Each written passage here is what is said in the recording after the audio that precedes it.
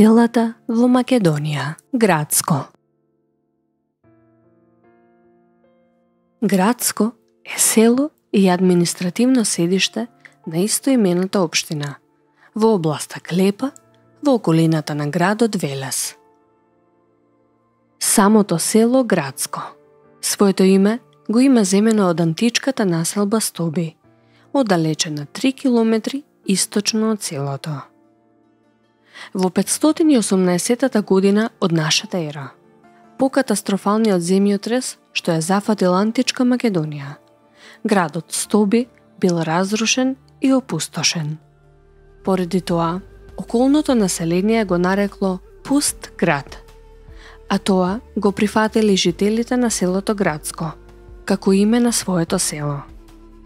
Бидејќи со време придавката пуст отпаднала, останало името град, кое подоцна се нарекло Градско.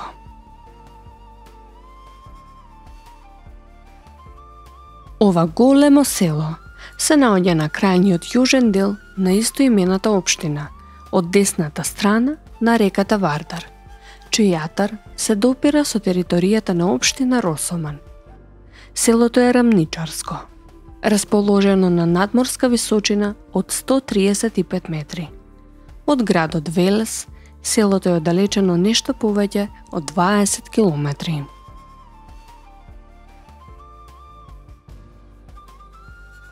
Селото Градско или старата населба се наоѓа непосредно до брегот на реката Вардар, на оддалеченост од 2 километри источно од новата населба Градско – која е сместена на самата железничка пруга Скопје-Солун. До селото поголеми градови се Неготино и Кавадарци, оддалечени околу 18 км на север од местото. Селаните главно се занимавале со земјоделство, употребувајќи ги површините покрај реките Вардар и Црна – Неговите пасишта се користат во зимно време од страна на овчари од другите краеви од земјата.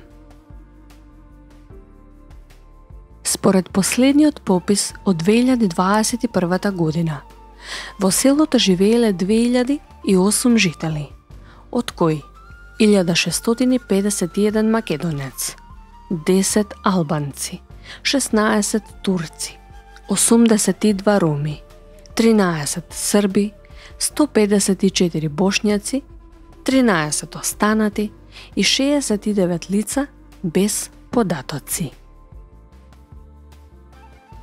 Како развиено село и седиште на општината, Градско поседува бројни обштествени установи, како општинската зграда на Градско.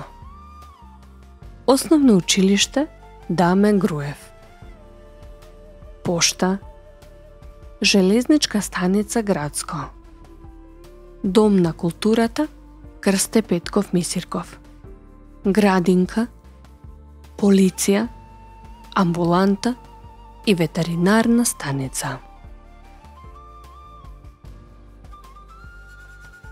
Главна селска црква на Градско е Ѓурѓовден. Во селото поминува и реката Србиница. Во самото село може да се најде споменик на народно-ослободителните борци. Може да се најде црквата Свети Ѓорѓи, која е главна селска црква. Црквата Свети Павле, со камен темелник, поставен во 2021 година. Во близина на Градско se naodja Stubi, gradska naselba od antičko vreme.